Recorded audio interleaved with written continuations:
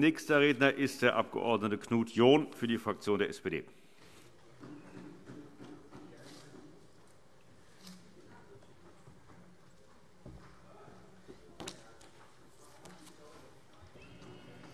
Herr Präsident, meine Damen und Herren! Aktionsplan Starkes Land, gutes Leben. Da schreibt die Ministerin im Vorwort, kann man im Internet lesen, die Hälfte der hessischen Bevölkerung lebt schon auf dem Land. Ich frage mich, ob Sie da nicht ein Wort verwechselt haben. Muss es nicht heißen, noch auf dem Land?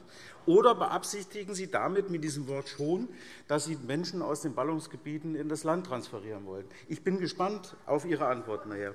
Sie schreiben weiter, Sie wollen die Lebensbedingungen weiter verbessern. Damit gestehen Sie doch ein, dass die Lebensbedingungen relativ schlecht sind. Und das sind sie zum Teil auch. Vom Staatsziel sind Sie da weit entfernt. Dann beschreiben Sie weiter in Ihrem Vorwort eine Idylle, als wenn Sie aus einem Märchenbuch vorlesen, Märchenbuch aller Priska Hinz.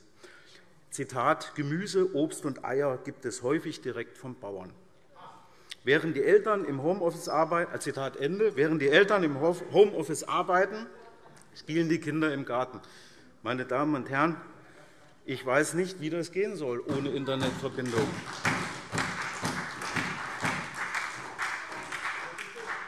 Und was ist eigentlich mit den Menschen, die mit Händearbeit ihr Geld verdienen? 25.000 Menschen pendeln täglich aus dem Werra-Meißner-Kreis aus, um woanders zu arbeiten. Aber Sie sagen ja auch gleich weiter, ja, wir müssen dafür sorgen, dass Unternehmen im ländlichen Raum angesiedelt werden. Ja, warum machen Sie es denn nicht selber? Warum bringen Sie denn nicht Behörden und Bildungseinrichtungen aufs Land, wie das andere auch machen?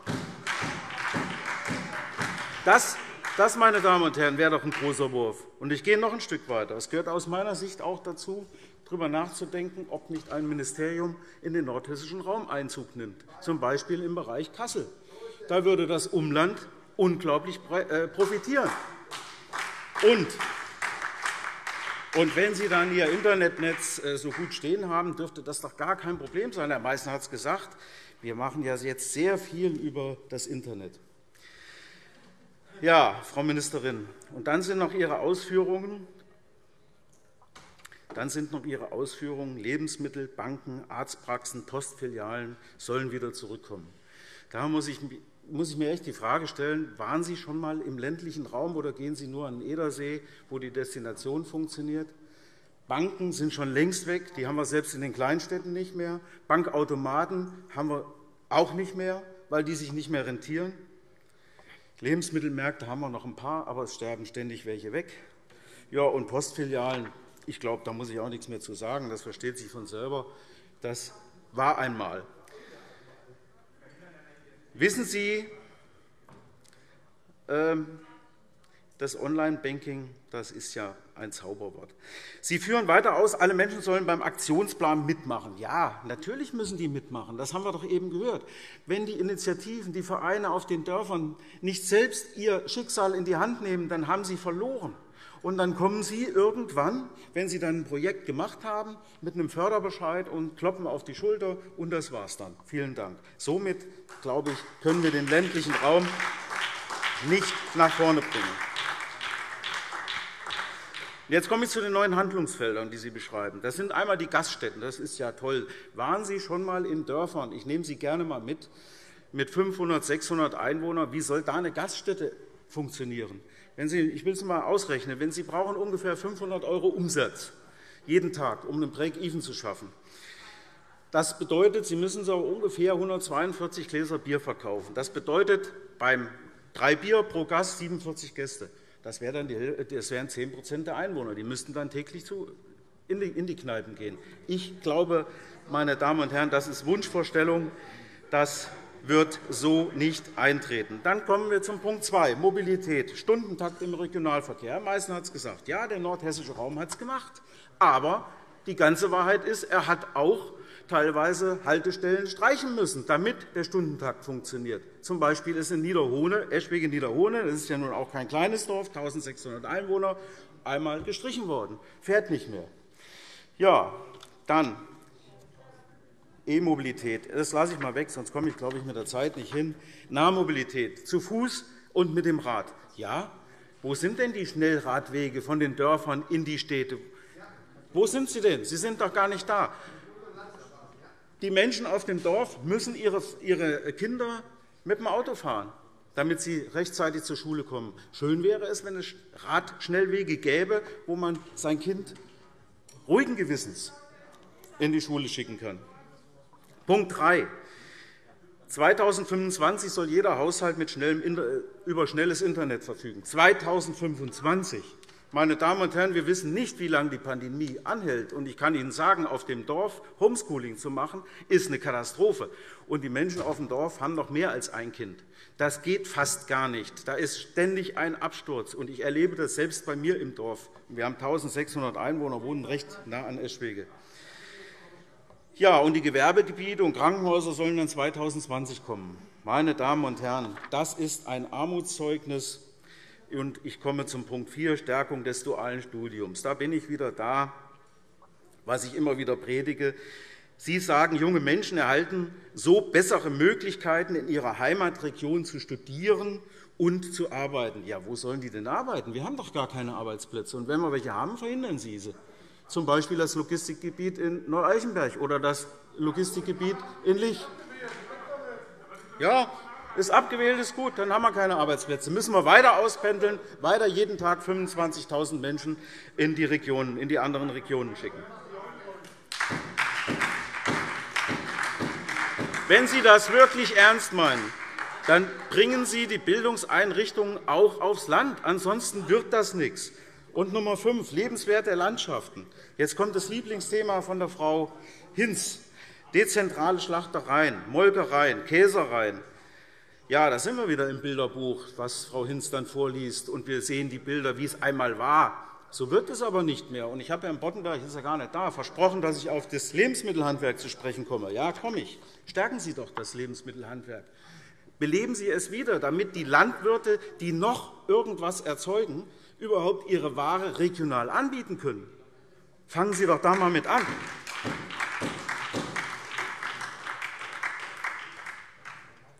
Und Ihre Zauberzahl 100, 100 wilde Bäche, 100 Erlebnisbauernhöfe, dehnen Sie das einmal aus. Machen Sie mal 100 Metzgereien, machen Sie 100 Bäckereien. Besser wär, lieber wären mir noch 500.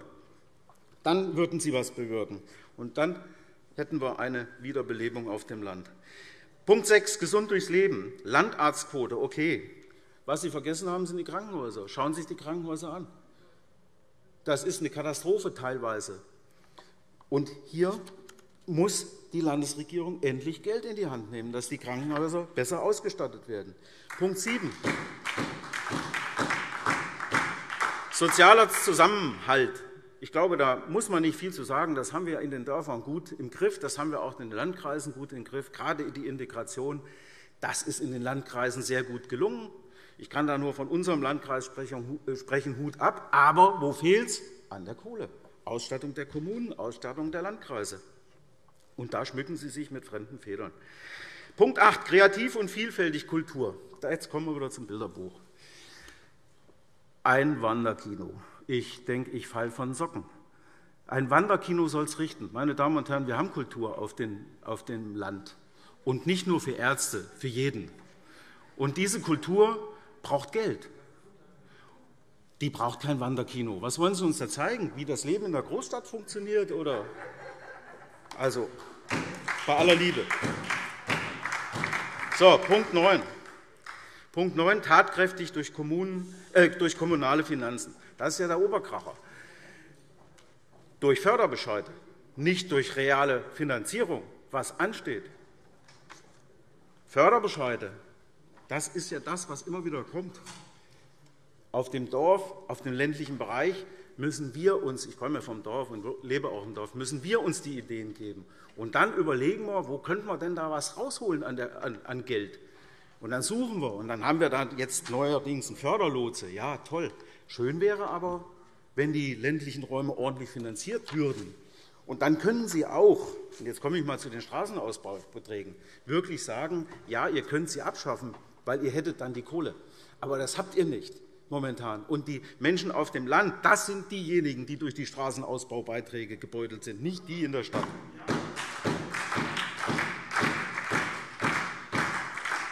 Also das Bilderbuch à la Priska Hinz Es sieht schön aus, ist aber Nostalgie. Und äh, ich erlaube mir, mit dem Satz zu schließen, und wenn Sie nicht gestorben sind, dann leben Sie noch heute. Danke schön.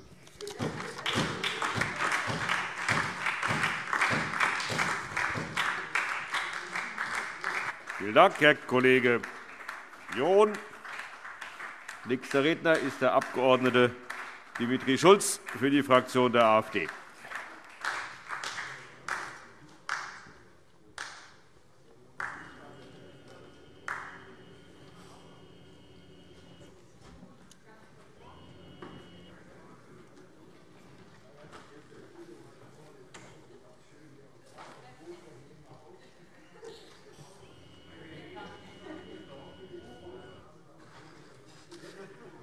Ja, liebe SPD und äh, LINKE, ja, ich lebe in Wiesbaden, in einer Großstadt, aber ich bin auf dem ländlichen Gebiet in Baden-Württemberg aufgewachsen. Und, ein, äh, und ich bin ja auch Maschinenbauingenieur. Und als Ingenieur im ländlichen Raum in Baden-Württemberg muss ich nicht nach Stuttgart ziehen, äh, um ein attraktives Leben und Gehalt zu bekommen. Nee, da kann ich sogar auch auf dem Heuberg leben und arbeiten und das gleiche Geld verdienen wie bei Daimler und ein gutes Leben auf dem Land führen. Verehrtes Präsidium, verehrte Damen und Herren, liebe Kollegen! Sie können sich vorstellen, dass wir mit der Stärkung des ländlichen Raumes zu hundertprozentig einverstanden sind. Wir, sind hier schon, wir weisen hier schon seit mehr als zwei Jahren unermüdlich darauf hin, dass das nötig ist, dass der ländliche Raum attraktiv bleiben muss. Erstens, weil, wir, den Bürgern dort schuldig sind und zweitens, weil wir die Bürger andernfalls praktisch dazu zwingen, in Ballungsgebiete zu ziehen, wo ohnehin schon Wohnungsnot herrscht. Die AfD ist ganz klar gegen Landflucht, und wir wollen die Ursachen der Landflucht entschieden bekämpfen. Aus all diesen Gründen aus all diesen Gründen rennen Sie eigentlich offene Türen bei uns bei diesem Thema ein. Leider mussten wir dann aber feststellen, dass es in Ihrer Drucksache keinen einzigen konkreten Punkt gibt. Es ist eine reine Ansammlung von hohlen Floskeln. Sie zählen dort zahlreich bekannte Probleme des ländlichen Raumes auf, aber ohne vernünftige Vorschläge für die Beseitigung derselbigen zu machen. Der ÖPNV wird von Ihnen natürlich als zentraler Punkt in der Entwicklung des ländlichen Raumes dargestellt. Die CDU ist ja in den letzten Jahren vergrünt und hat die Abneigung unserer Klimagroßschützer gegen Individualverkehr restlos in sich aufgesogen. Der Ausbau des ÖPNV wird aber nicht helfen, den ländlichen Raum attraktiver zu machen, wenn es bei allen anderen Infrastrukturen an allen Ecken und Enden fehlt. Ein massiver und flächendeckender Ausbau des ÖPNV bis ins Dorf hinein ist weder wirtschaftlich noch ökologisch sinnvoll. Wenn Sie wirklich, wie Sie schreiben, den ländlichen Raum für junge Familien attraktiver machen wollen, dann müssen Sie die Lebensbedingungen vor Ort verbessern und nicht die Anbindung in die Ballungszentren. Denn das, heißt ja nur, die Peripherie des Ballungszentrums zu vergrößern. Und das ist eine Scheinlösung, die nichts bringen wird. Ich frage mich auch, was Sie meinen mit der guten digitalen Infrastruktur. Meinen Sie damit Ihr Lieblingsthema 5G? Sie haben den Ausbau von 4G nicht auf die Reihe bekommen und wollen jetzt versuchen, einen noch kostenintensiveren Mobilfunkstandard zu implementieren, wo dann die Masten, noch, äh, die Masten in noch geringeren Abständen stehen müssten wegen der höheren Frequenz. Sagen Sie es doch konkret, was Sie wollen, statt mit Floskeln um sich zu werfen. Aber das tun Sie natürlich nicht, weil sonst jeder gleich sieht, dass Sie keine vernünftigen Lösungsansätze haben. Dann ein weiterer Punkt, das Gesundheitssystem. Wie kann die Regierungskoalition von einem Ausbau des Gesundheitswesens sprechen, wenn gleichzeitig auf dem Land eine Klinik nach der anderen geschlossen wird? Offenbar sind Ihnen die Auswirkungen Ihrer eigenen Politik nicht bewusst. Das Verräterischste an Ihrer Drucksage ist aber folgende Behauptung, Zitat, eine gute Mobilitätsinfrastruktur wirkt sich zudem für alle Bewohnerinnen und Bewohner der Region positiv auf die Erreichbarkeit von Gesundheitseinrichtungen aus. Glauben Sie eigentlich ernsthaft, eine bessere ÖPNV-Anbindung wäre den ländlichen Raum attraktiver machen, wenn gleich die nächste Klinik 50 km entfernt vermutlich im Ballungszentrum ist.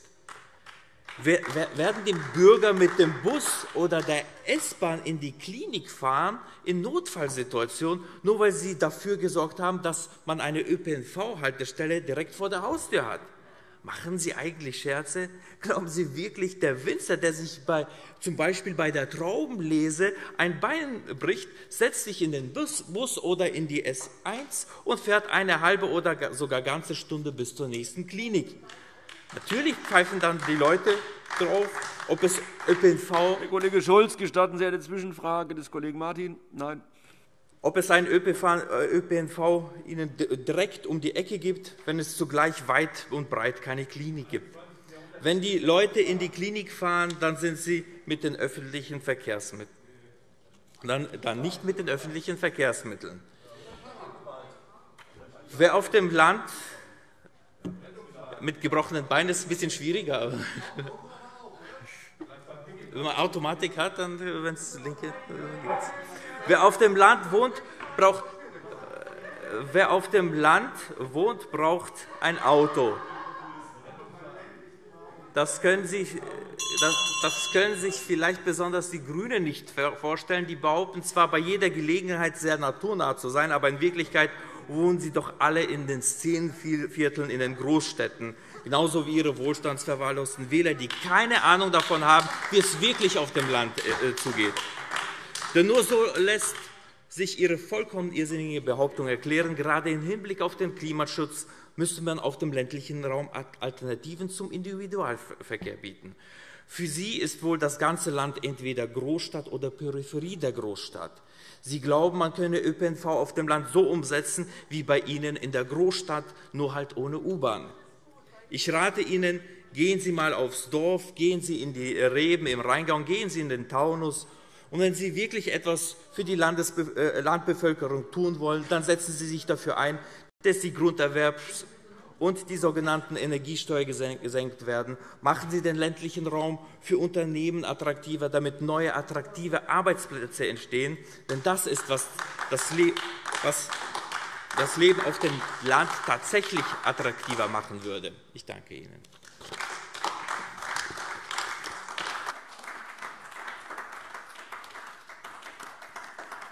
Vielen Dank, Herr Kollege Schulz.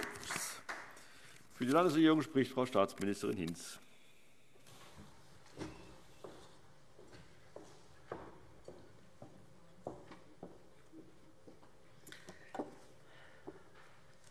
Sehr geehrter Herr Präsident, meine Damen und Herren! Ich bin schon etwas verblüfft, muss ich sagen, über die Reden der Opposition zu diesem Aktionsplan und äh, zum Thema, wie, wir, wie äh, der ländliche Raum in Hessen gestaltet ist und wie die Bürgerinnen und Bürger dort leben. Also, die einen sind sehr unterkomplex und sehen am liebsten nur ein Tier ähm, im, ländlichen Raum, und die anderen machen das Leben im ländlichen Raum in Hessen so schlecht, dass ich mich frage, ob Sie, ob Sie eigentlich eine Realitätsverzerrung haben. Also, die Menschen, die Menschen, die in Hessen im ländlichen Raum leben, finden ihn in der Regel sehr attraktiv, weil er sehr vielseitig ist. Und ich persönlich bin nicht nur in Hessen im ländlichen Raum groß geworden, sondern ich lebe auch dort immer noch. Und deswegen weiß ich sehr gut, wovon ich spreche. Und deswegen weiß ich auch genau, warum dieser Aktionsplan so aussieht, wie er aussieht, meine Damen und Herren.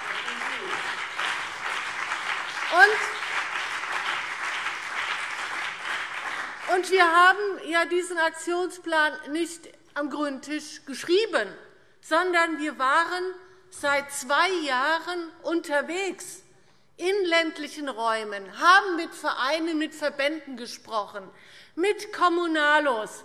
Wir haben sie eingeladen ins Ministerium, und wir haben mit ihnen die Themen diskutiert, bevor wir dann interministeriell aus allen Ressorts die Themen gebündelt haben, die wichtig sind als Rahmenbedingungen für ein noch besseres Leben im ländlichen Raum. Darum geht es, Ihnen es noch besser zu machen, noch bessere Rahmenbedingungen zu schaffen, damit junge Leute, wenn sie zur Ausbildung weggegangen sind, gerne wiederkommen, damit junge Familien gerne im ländlichen Raum bleiben und damit alte Menschen dort auch einen guten Lebensabend verbringen können. An all dies müssen wir denken, und so ist der Aktionsplan aufgebaut, meine Damen und Herren.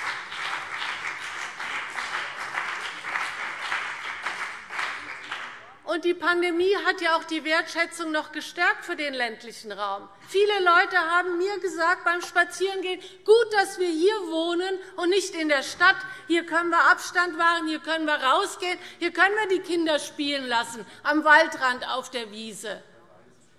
Und viele haben festgestellt, dass mobiles Arbeiten funktioniert und dass sie keine Wege zurücklegen müssen in die nächste Stadt zu ihrem Arbeitgeber. Auch das wird ein Umdenken bringen in die Zukunft hinein, wie wir künftig leben und arbeiten. Und etliche Unternehmen werden sich auch überlegen, ob sie nicht Arbeitsplätze zurückverlagern in den ländlichen Raum. Und deswegen werden der Sozialminister und der Wirtschaftsminister und ich gemeinsam eine Konferenz dazu veranstalten, unter welchen guten Arbeitsbedingungen so mobiles Arbeiten im ländlichen Raum besser möglich ist. Auch das ist ein Thema, dessen wir uns annehmen. Und das ist ein modernes Thema. Wir wollen einen modernen ländlichen Raum und kein Bullabü, um hier einmal mit diesem Vorurteil aufzuräumen.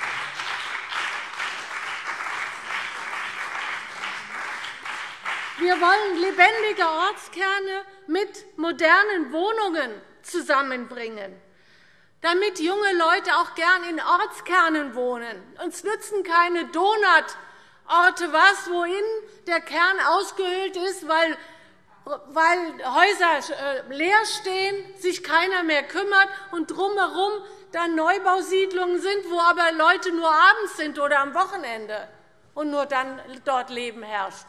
Deswegen werden wir das zusammenbringen. Dafür braucht es eine Verbindung von bisherigen Programmen wie der Dorferneuerung mit höheren Förderquoten seit dem letzten Jahr, mit Sonderprogrammen für die Gastronomie, mit Neueinrichtungen von Dorfläden, auch digitalen Dorfläden. Auch das geht inzwischen. Auch dies ist eine Möglichkeit. Geförderte Kleinstunternehmen schaffen neue Arbeitsplätze. Und mit neu aufgelegten Stadtentwicklungsprogrammen unterstützen wir nicht nur lebendige Ortszentren, sondern auch weitere soziale Treffpunkte und Chancen für kulturelle Angebote. Das bringen wir zusammen im ländlichen Raum. Und ich sage Ihnen, wir sind angewiesen auf private Initiativen, auf Eigeninitiative. Deswegen wird das auch gefördert. Sie können dann mit unseren Angeboten ihre Ideen umsetzen und das gesellschaftliche, soziale und kulturelle Leben bereichern. Wanderkinos, ich weiß gar nicht, warum Sie das so schlecht machen. Haben Sie etwas gegen Unternehmer, die Kinos haben und dann noch ein Wanderkino im Sommer machen? Das wird ausgedehnt über den ganzen Sommer. Das sind kulturelle Veranstaltungen Open Air im ländlichen Raum. Das ist eine tolle Sache, weil auch das Arbeitsplätze bringt, Wertschöpfung im ländlichen Raum. Ich weiß gar nicht, irgendwie hat die SPD in dieser Richtung jedenfalls den Kompass verloren.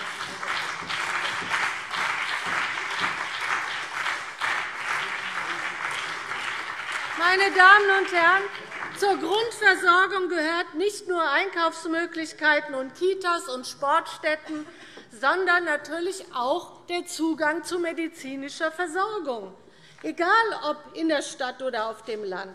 Deswegen ist ein Baustein unseres Aktionsplans, den Nachwuchsmangel bei Ärztinnen und Ärzten zu beheben, durch die Einführung einer Landarztquote. Die Koalition hat das jetzt gerade vorgestellt. Nächstes Jahr wird es eingeführt. Und wir werden die Hebammenausbildung verbessern, neu aufstellen, in Kooperation mit den hessischen Hochschulen und den Krankenhäusern, damit wir auch hier den Nachwuchsmangel beheben. Auch das ein wichtiges Signal an den ländlichen Raum.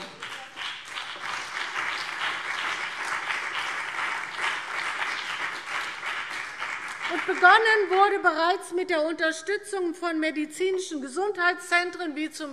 B. in Breitscheid bei mir im Lahn-Dill-Kreis, das Sozialministerium unterstützt die Einrichtung der hausärztlichen Praxis, mein Ministerium über LIDA-Mittel Einrichtungen zur Tagespflege und ein Optikgeschäft mit insgesamt 160.000 €. Dort gibt es jetzt auch eine Praxis für Physiotherapie, eine Apotheke sowie Pflege- und Sozialeinrichtungen unter einem Dach. Das ist medizinische Grundversorgung im ländlichen Raum. Dahin wollen wir kommen, und zwar auf breiter Ebene.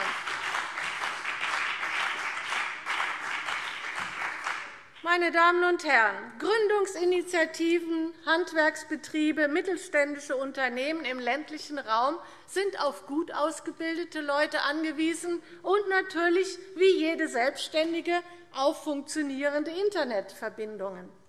Und deshalb wird die Landesregierung dafür sorgen, dass wir schnellstmöglich eine gigabitfähige Infrastruktur erreichen. Allein dieses Jahr sind dafür 110 Millionen € vorgesehen.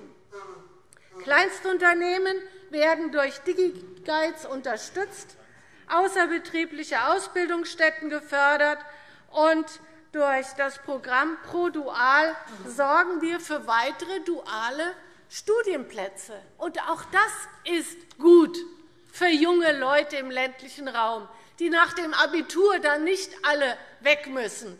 Und wir haben Unternehmen und Arbeitsplätze im ländlichen Raum, die wollen wir nicht nur erhalten, sondern wir möchten gern, dass es mehr werden. Aber dann müssen wir auch Angebote haben, wie Sie junge Leute gut ausbilden können und sie an sich binden können. Und diese dualen Studiengänge sind ein wirkliches Plus für den ländlichen Raum.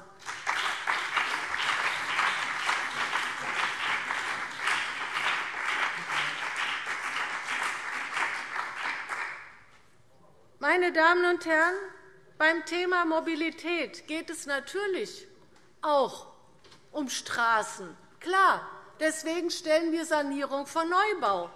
Es müssen ein funktionierendes Straßensystem muss erhalten bleiben. Aber es gibt junge Leute, die besitzen noch kein Auto. Es gibt ältere Menschen, die können kein Auto mehr fahren. Es gibt Eltern, die haben keinen Bock mehr, jeden zweiten Tag Elterntaxi zu spielen. Es gibt Menschen, die wollen kein Zweit- und Drittauto in der Familie. Und auch hier wollen wir ein Angebot machen. Mit dem Stundentakt haben wir begonnen in Nordhessen für den ÖPNV.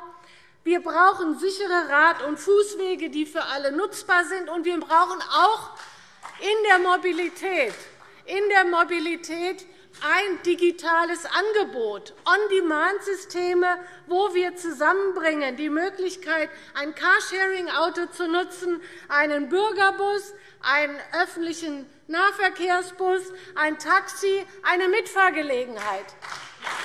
Frau Ministerin, die Fraktionsredezeit ist mittlerweile abgelaufen. Danke schön. Wir brauchen Umsteigemöglichkeiten an Verkehrsknotenpunkten, und zwar nahtlos nahtlos vom E-Bike in den Bus auf die Mitfahrgelegenheit zum Sportfahren zu können, zum Beispiel. Ja? Dann muss, weil die Sportstellen sind auch nicht in jedem kleinsten Ort. Das wird auch künftig nicht so sein. Deswegen brauchen wir solche Möglichkeiten.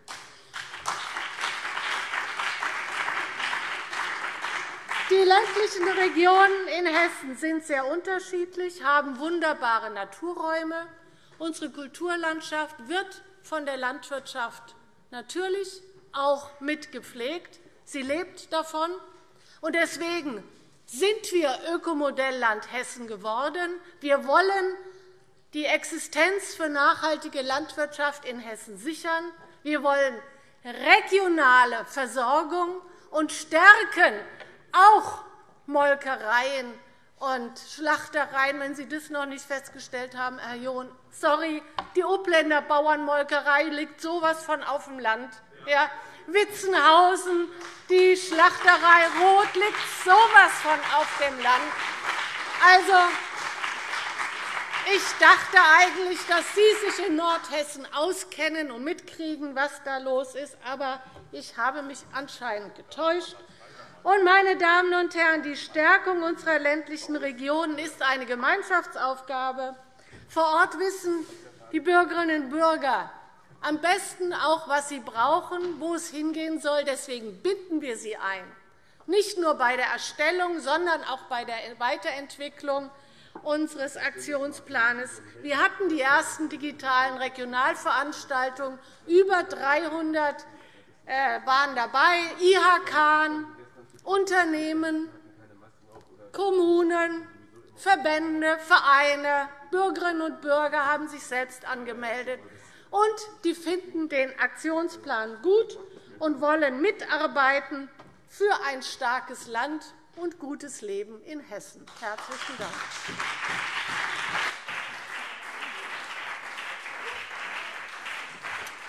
Vielen Dank, Frau Staatsministerin Hinz.